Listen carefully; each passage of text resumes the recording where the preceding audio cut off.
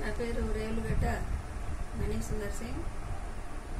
నేను ఏఐడిఆర్ఎఫ్ స్టేట్ ప్రెసిడెంట్గా ప్రస్తుతం పనిచేస్తాను. అలాగే బిఎస్ఐ అంటే బుద్ధిస్ట్ సొసైటీ ఆఫ్ ఇండియాకి డిస్టిక్ ప్రెసిడెంట్గా కూడా పనిచేస్తున్నాను.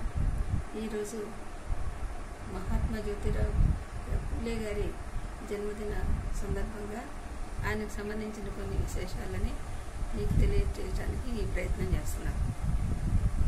మహాత్మా జ్యోతిరావు పూలే గారు ఒక సంఘ సంస్కర్త. ఆయన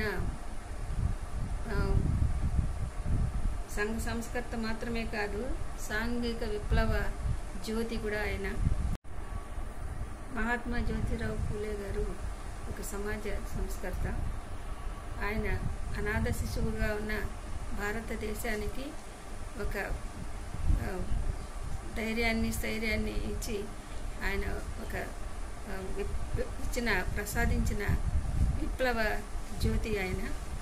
ఈ విషయాన్ని బాబాసాహెబ్ అంబేద్కర్ గారే గ్రహించి బాబాసాహెబ్ అంబేద్కర్ గారు ఆయనని ఒక- ఆయన ఆయన ఆరాధించే ముగ్గురు దేవతల్లాంటి వాళ్ళ అనుకొని ఒకరిగా ఆయన గుర్తించడం జరిగింది.